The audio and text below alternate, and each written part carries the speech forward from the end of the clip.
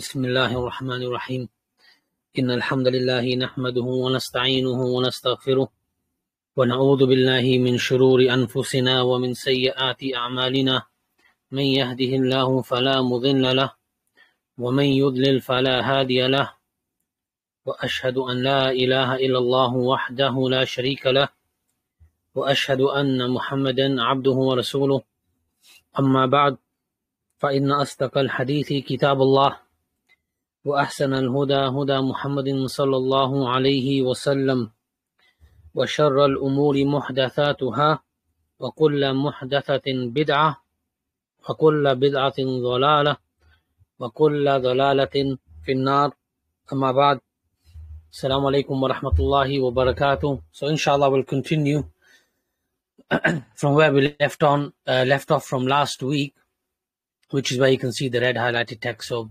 basically, the Sheikh was explaining the eighth nullifier of Islam, and it was to do with whoever aids um, the disbelievers with the aim of aiding them in their religion, aiding them in their religion and having love for their religion and aiding him in that way over the religion of Islam. And the Sheikh explains, he started explaining the difference between um, the word called uh, the word at-tawalli, which is referring to that what I've just said, and the word al-muwalat, and understanding these two different words and the uh, and the verses of the Quran that are related to it uh, is imperative because sadly today um, a lot of people misunderstand this and they end up excommunicating other Muslims because of their lack of understanding and uh, in, in, in understanding these words and what they actually mean um, in regards to uh, the tafsir of the Quran and what the scholars have mentioned of it.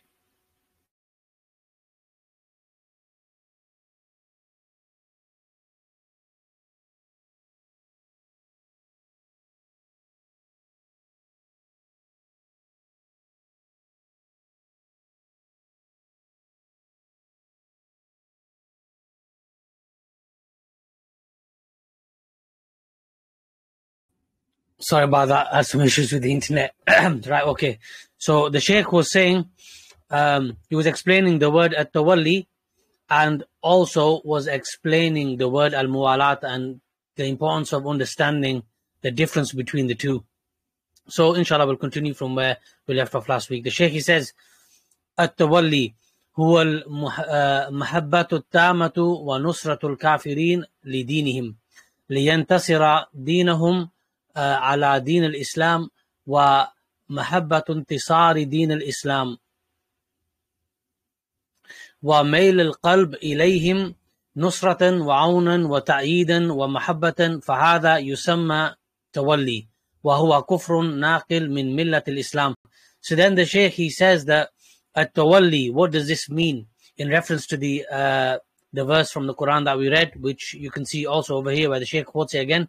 وَمَنْ يَتَوَلَّاهُمْ مِنْكُمْ فَإِنَّهُ مِنْهُمْ So the Shaykh he says that at-tawalli it is complete love and helping the disbelievers in their religion and their way uh, over the deen of al-Islam and it's loving helping them complete complete love in helping them with this in this regard and it's the uh, the person's heart you know going towards them and going towards uh, helping and aiding and assisting them and loving them in doing that for the uh, for the victory of their deen and their way of life over the deen of al-Islam, the religion of al-Islam. This is what it means. And the Shaykh says, whoever falls into this category, then uh, he ends up leaving the fold of al-Islam, it's major kufr, and he ends up becoming a disbeliever by way of it.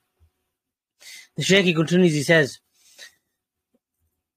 وأما الموالاة فهي دون ذلك الموالاة هي محبة الكافر لدنيا لا لدينه أن يحبه لدنيا لا يحبه لدينه وأيضا نصرة وأيضا نصرة الكافر لدنيا لا لدينه مثل أن ينصر الكافر أو يعينه في قتاله للمسلمين أو يدله على شيء من مخططات المسلمين لا لدين الكافر وإنما لدنيا يريدها من الكافر أو يعينه في قتاله للمسلمين أو يدل على شيء من مخططات المسلمين لا لدين الكافر وإنما آه، لدنيا يريدها من الكافر مثل أن يكون له تجارة في بلادهم أو يكون أو يكون له آه، أهل في بلادهم فيريد أن يكون له يد عندهم. فهو لا يحبهم ولا يحب دينهم ولا يحب انتصار دينهم وليس كارها للدين الإسلامي ولا محبا لانهزام المسلمين.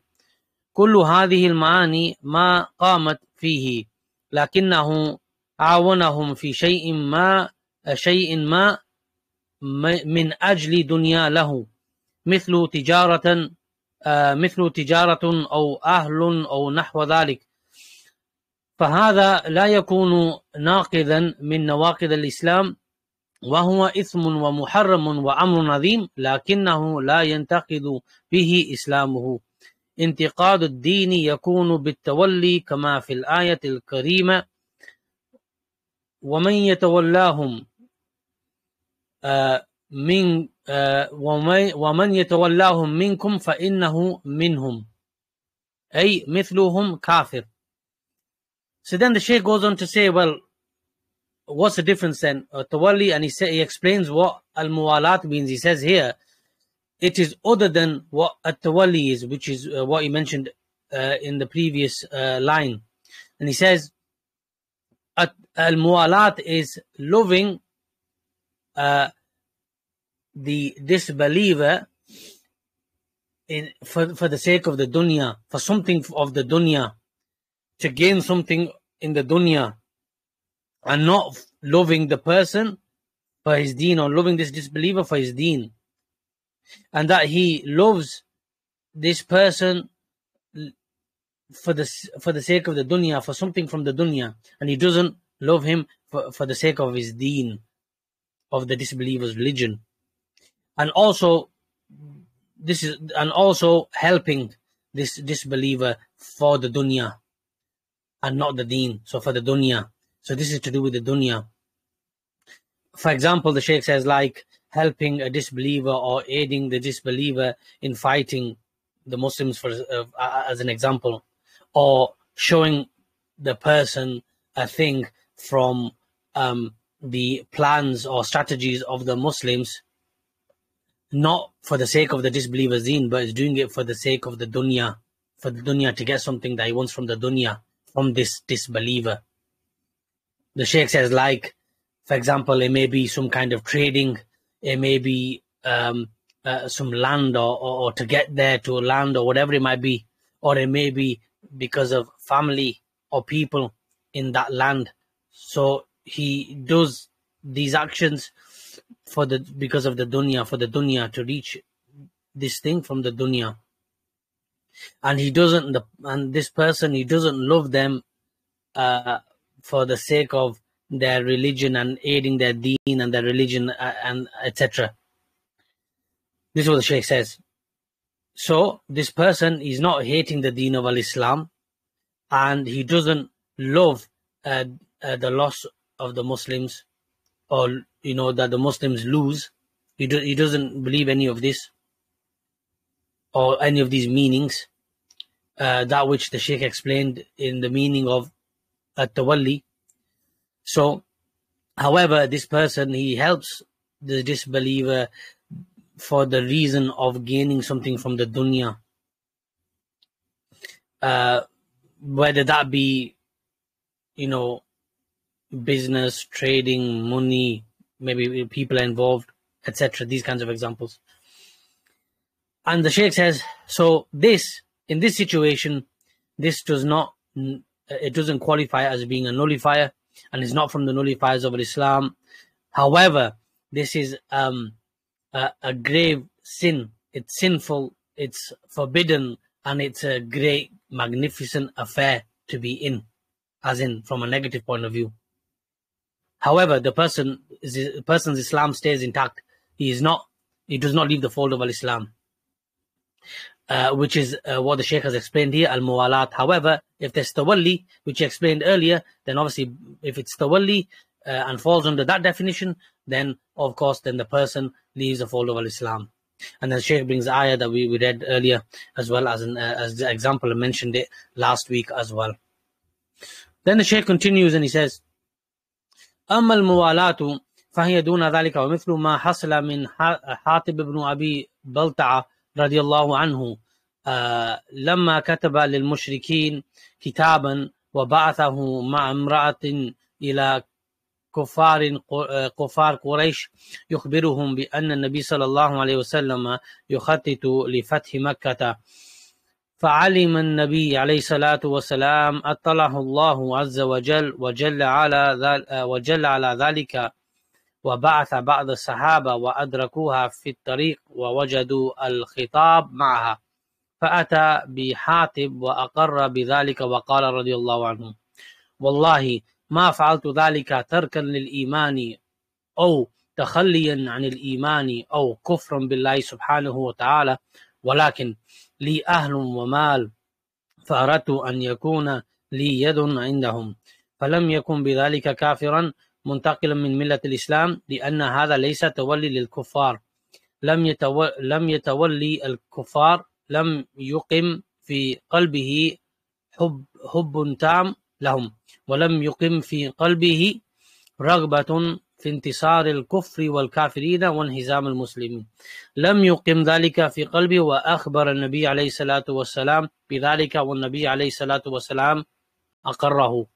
So uh, this is uh, relevant in terms of what happened in our history and the Sheikh brings this forth. He says, as for al-muwalat, then this is other than tawalli, as the Sheikh explained. And he goes on to say, like what happened uh, with um, uh, one of the uh, Sahaba, Hatib ibn Abi Balta'a, radiallahu anhu, may Allah be pleased with him, when he wrote uh, to the mushrikeen a letter, uh, and uh, he, he found a woman and he sent a woman to go and, and deliver this letter to the kuffar of the Quraysh to inform them that the Prophet ﷺ was planning the conquest of Mecca. And the Prophet ﷺ learned about this affair. Allah revealed this to him and informed, Allah informed him of this affair, of what happened. And so a group of the Sahaba went to, uh, became aware of it and went to find this woman. They found the woman with the letter, uh, this letter that she was on the way to Mecca to let the Quraysh know. Then, uh, and then they, they brought this uh, uh, uh letter to uh, the Sahabi, and he said, "Yeah, I did that." Uh, um, Hatib ibn Abi Balta anhu said, I, "I did, I, I did that." And he, may Allah be pleased with him, he said, "Wallahi, by Allah, I didn't do that for the sake of leaving my iman or, or the religion or to get rid to remove myself of iman uh, or in disbelief or disbelieving in Allah subhanahu wa ta'ala. But I have family and uh, wealth uh, uh, there in Mecca and I wanted that that I have an advantage with regards to that for my family and that wealth that he had there so the sheikh says so because of this uh, uh, um, and by this then um, uh, with regard to that he wasn't he, he wasn't a kafir because this comes under al muwalat. He was he didn't disbelieve, uh, which doesn't remove him from the uh, the fold of Islam. Because the Sheikh says because this is not the wali of the kuffar, rather al muwalat, which is different, as the Sheikh explained earlier when we translated what the Sheikh said. Uh, and he didn't obviously aid and assist, which comes under at tawalli of the disbelievers you know, it, it, it, wasn't established within his heart as, as, as from his speech. It's not established in his heart that he had a complete love for them.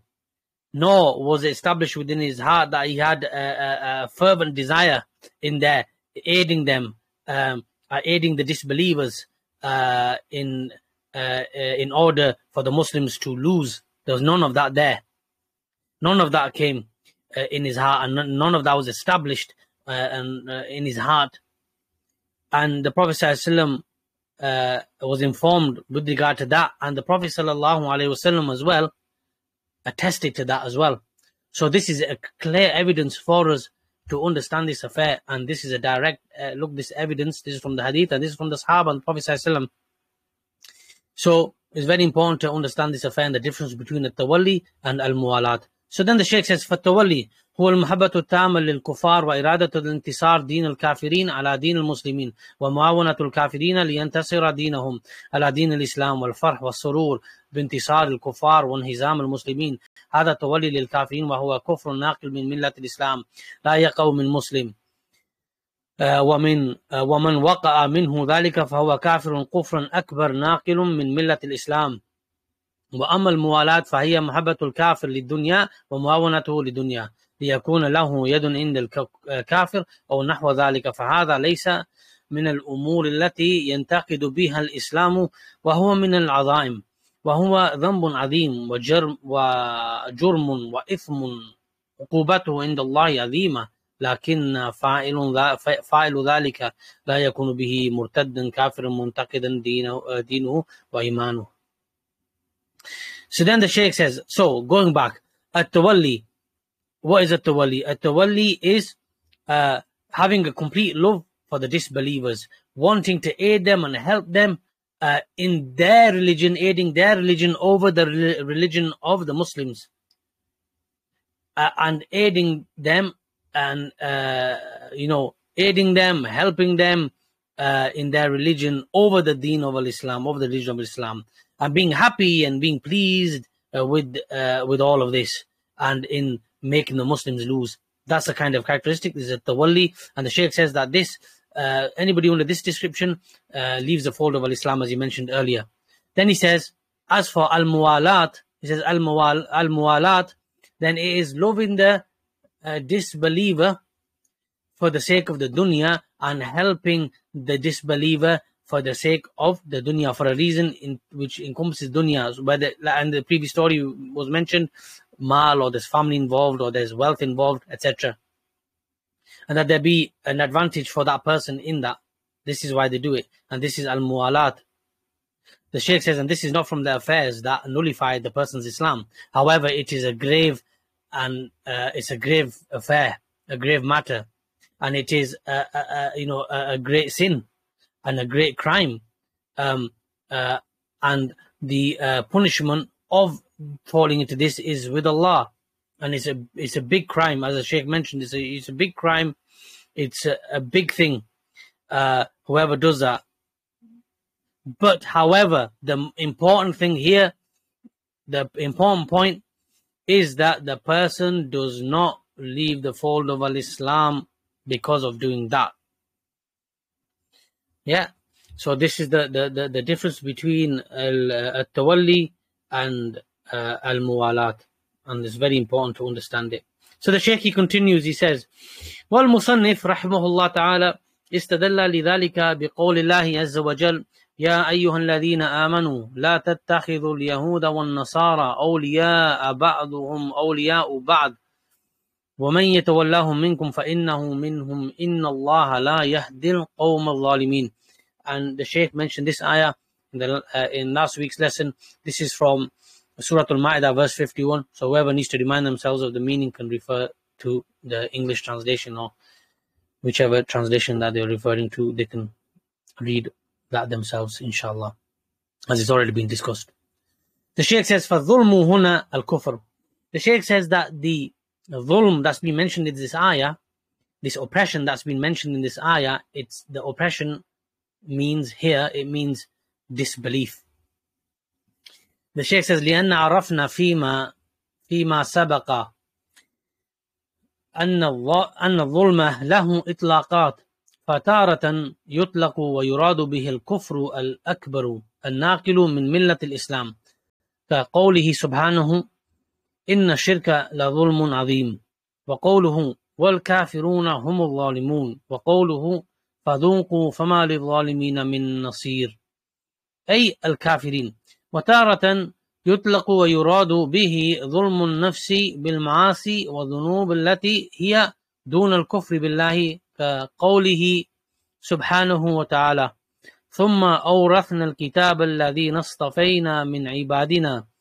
فمنهم ظالم لنفسه ومنهم مقتصد ومنهم سابق بالخيرات بإذن الله ذلك هو الفضل الكبير جنات عدن يدخلونها So the Sheikh brings the first, uh, all of the ayahs that we read, except the last one, where dhulm has been mentioned, is in relation to kufr, disbelief. But in the last ayah that we read, the longer one just that we just read now, then that explains, as the Shaykh will mention as well here, that that shows us that dhulm has um, has meanings. It, it has different meanings. Sometimes, depending on the context, it means disbelief. Uh, in other uh, areas of the Quran, for example, in the context, as in this last ayah, it comes with a different meaning, like sin, being sinful or oppressing yourself in terms of being sinful. For example, the Sheikh he mentions here after this ayah that is uh, that that we read, he says that um, the zalim here, the zalimu li nafsihi, then this is the person who's committed sin. But let's go to the um, the translation of the meaning first, inshallah, and then we'll translate the rest.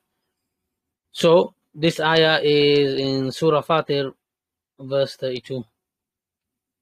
Then we gave the book, the Quran, for inheritance to such of our slaves whom we chose, the followers of Muhammad sallallahu alaihi wasallam. Then of them are some who wrong their own selves, and of them are some who follow a middle course, and of them are some who are by Allah's leave foremost in good deeds. That inheritance of the Quran, that is indeed a great grace.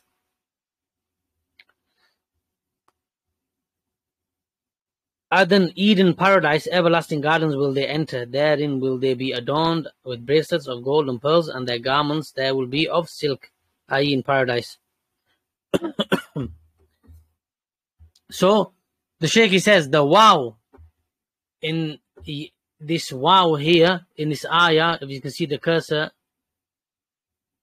where it says yadkhulunaha, it says وأن واو في قوله يدخلون تشمل الظالم لنفسه والمقتصد والسابق بالخيرات. فكلهم يدخل الجنة لكن المقتصد والسابق بالخيرات يدخلون الجنة بدون حساب ولا عذاب. وأما الظالم وأما الظالم لنفسه بالمعاصي والذنوب فإنه عرضة للعذاب. وإذا عذبه الله في النار فإنه لا يخلد فيها إذ لا يخلد في النار إلا المشرك. So then the Sheikh says that this and this entering of paradise for these three groups of people, as we read in the meaning of the this ayah, the three people, um, it, this wow, this wa, it it covers all of them. It, it's all of them, and this ha goes back to this ha yadkhuluna ha is referred to all of these three groups which then shows us, if we ponder over that, as the Sheikh is explaining, that that the dhulm that's being mentioned here is not kufr. It's not it's not kufr that takes you out of all of Islam. It's actually the person who here in this meaning of the verse or this word in this verse, the meaning of it is a person who oppress themselves in terms of committing sins, committing sins, minor and major sins, for example. And the and the Shaykh says here, as he goes on to say, he says that this is what encompasses even this person and then the person who's economic, who follows a middle way, uh, who, uh, who does whatever Allah has uh, uh, told him to do, commanded him to do, and stays away from everything that Allah has told him to stay away from, then this person's muqtasid, that's the middle one in the middle path. And then there's the one who's a sabiqun bil khairat, that's the person who goes, who is, does what the muqtasid does, the middle, in the middle path, but does more. So does nawafil, does all kinds of uh, supererogatory, optional extra deeds.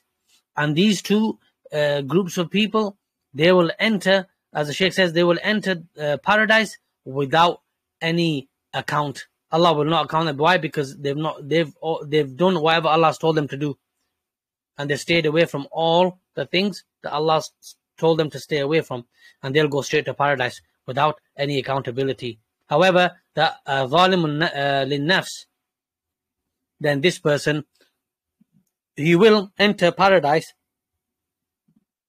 uh, if Allah chooses to punish him, he will be punished in the hellfire first for the reason of purification, and then he will be thrown into paradise. So uh, this is where the Shaykh is making the distinction between the meaning of dhulm or zalim or dhulm in the Quran uh, and within our religion to understand it that it comes with different meanings based on the context.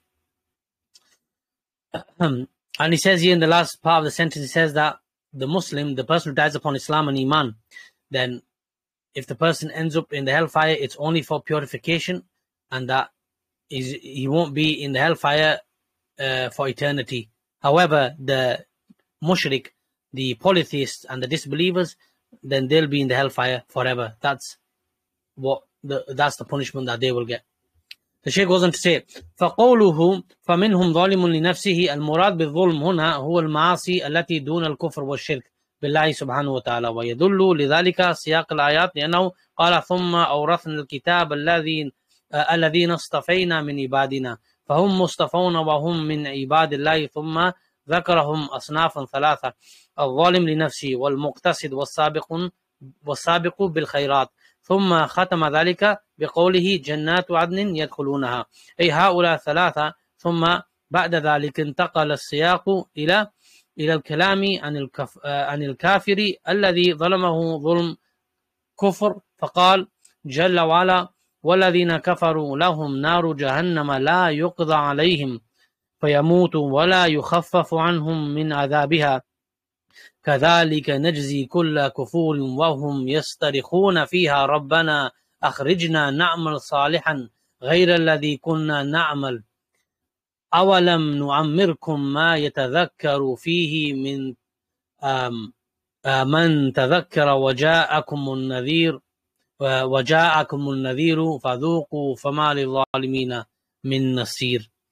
فقوله هنا فما للظالمين من نصير أي الكافرين So then the Shaykh mentioned what, what, already what, what is already mentioned uh, in the previous paragraph and then he brings a, an ayah which is a few ayahs down from uh, what we read from Surah Al-Fatir verse 32 this is verse, uh, verse 36 in regards to the disbelievers and this is but those who disbelieve in the oneness of Allah Islamic monotheism for them will be the fire of hell neither it will have a complete killing effect on them so that they die, nor shall its torment be lightened for them. Thus do we requite every disbeliever.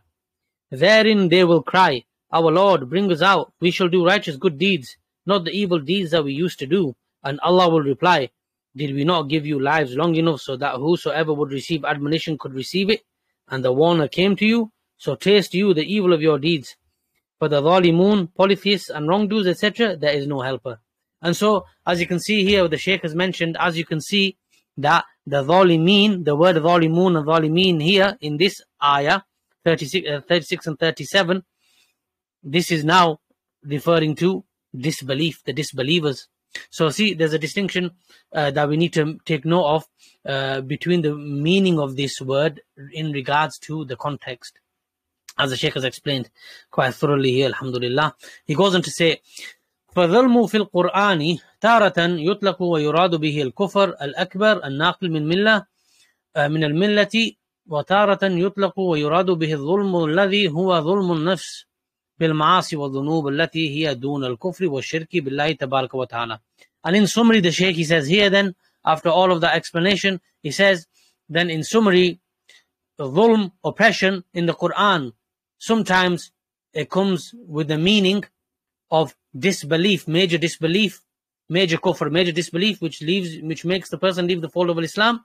And sometimes it comes with the meaning uh, of oppressing oneself uh, by way of committing sins. Yeah, perpetrating sins. And here it is other than disbelief and shirk and polytheism with Allah Jalla wa'ala. So that's in summary uh, what the Shaykh has been saying here and he's summarized it there. So then he goes on to say, he says, um, الشاهد أن قول الله عز وجل في هذه الآية في هذه الآية التي ساقها المصنف رحمه الله تعالى إن الله لا يهدي القوم الظالمين أي الكافرين وشاهد أيضا في الآية في الآية للمقصود وهو ذكر ناقد من نواقض الإسلام قوله ومن يتولاهم أي الكفار ومن يتولاهم منكم أي من المسلمين فإنه منهم أي ليس من المسلمين وعرفنا معنى التولي والفرق بينه وبين الموالاة So then the Shaykh summarizes what he said early in all of these lessons and the last week's lesson uh, he summarizes it here uh, with regards to the meaning of uh, dhulm as mentioned as well and also the meaning of at-tawalli and, and, uh, and al-muwalat and whoever hasn't listened to last week's lesson and this week's lesson then uh, I urge you to go back and uh, listen to the lesson to understand uh, these important points because they're very, very important. Important, and especially in current times, people are uh, not understanding these terms and they're applying them incorrectly, and as a result, they're excommunicating Muslims from the Deen of Islam. And by doing that, they end up doing that to themselves as well. Um, by this grave mistake that a lot of people are making in uh, lack of understanding uh, uh, and knowledge in, in, in understanding these uh, important terms. Uh, so I urge you to do that, inshallah, if you haven't listened to the this today's lesson and last week's lesson. So then the Shaykh continues. We're going to move on to the next page, inshallah, and then we'll finish. So in, in about five minutes. The Shaykh, uh, he continues and he says, يقول الإمام محمد بن عبد الوهاب رحمه الله تعالى وغفر له التاسع من اعتقد أن من اعتقد أن بعض الناس يسعه الخروج عن شريعة محمد صلى الله عليه وسلم كما وسع الخضر الخروج عن شريعة موسى عليه السلام فهو كافر So we're moving on to the ninth nullifier. The ninth nullifier of Al-Islam and the Shaykh mentions here as the author uh, mentions in the bold writing that whoever believes that some people have the capability or the ability to uh, go outside the laws that the Prophet Muhammad sallallahu alaihi wasallam came with, like the example of, for example, um, where Khadir uh, uh, operate outside the uh, Sharia of uh, Musa alayhi salam, then whoever is like this, then or on this path, then he is a disbeliever, has left the fold of Al-Islam. The Shaykh he goes on to explain, he says, قال المصنف رحمه الله تعالى التاسع أي من نواقض الإسلام من اعتقد أن بعض الناس يسعه الخروج عن شريعة محمد صلى الله عليه وسلم كما وسع الخضر الخروج عن شريعة موسى عليه السلام فهو كافر. قوله رحمه الله من اعتقد أن بعد الناس يسعه الخروج عن شريعة محمد إلى آخره فهو كافر. هذا بيان لناقد من نواقد الإسلام ودليل ودليل هذا الناقد وشواهد كثيرة لأن شرائع الإسلام التي بعث الله بها نبينا محمد صلى الله عليه وسلم هي دين الله هي دين الله الذي رضيه لعباده ولا يرضى لهم دينا سواه. ومن اختار لنفسه دينا أو طريقة أو عملا غير شرائع الإسلام التي جاء بها النبي عليه الصلاة والسلام فلا فلا فلا يقبل الله منه عمله. قال الله عز وجل إن الدين عند الله الإسلام. وقال جل وعلا ومن ومن يبتغي غير الإسلام دينا فلن يقبل منه وهو في الآخرة من الخاسرين. وقال جل وعلا اليوم أكملت لكم دينكم وأتممت عليكم نعمتي ورضيت لكم الإسلام دينا فالإسلام هو دين الله. إن الدين عند الله الإسلام وهو الدين وهو الدين الذي رضيه لعباده ولا يرضى لهم دينا سوى. ورديت لكم الإسلام دينا وهو الدين الذي لا يقبل الله عز وجل دينا سواه كما قال ومن يبتغي غير ومن يبتغي غير الإسلام دينا فلن يقبل منه وهو في وهو في الآخرة من الخاسرين So inshallah, we'll uh, I'll finish explaining that, and then we'll stop. So then the Sheikh he says that that this what what the original authors mentioned here in the uh, for the ninth nullifier of Islam, then this is a clarification that this is one of the nullifiers from the nullifiers of the deen, the religion of Islam, and the and the evidence uh, for this nullifier and its points um, are many. And the Sheikh says because the the legislation of Al Islam that Allah sent the sent our Prophet with, sallallahu alaihi wasallam, it is the religion of Allah, and Allah is pleased with this religion for His slaves, His servants, and He does not, and He's not, and He's not pleased with any other religion other than it. And whoever chooses a religion or a way of life or a way other than the legislation of Islam and the, and the religion of Islam, which the Prophet sallallahu alaihi wasallam came with, was sent with, then Allah will not accept any of his actions, will not accept anything from him. And then the Shaykh came with a few ayahs that we read, where Allah Jalla wa'ala said, in verily the, the religion with Allah is al-Islam. And he also said, and whoever wishes uh, other than, uh, was, wishes other than al-Islam as a religion, or wants other than Islam as a religion, then Allah, uh, then he will not be accepted from him, and he will, and in the in the day of judgment, in the akhirah, he will be a loser.